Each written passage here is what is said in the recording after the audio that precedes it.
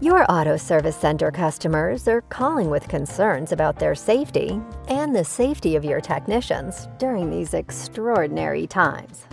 Auto repair centers across the country are relying on our onhold.com team to assist in communicating evolving business methods.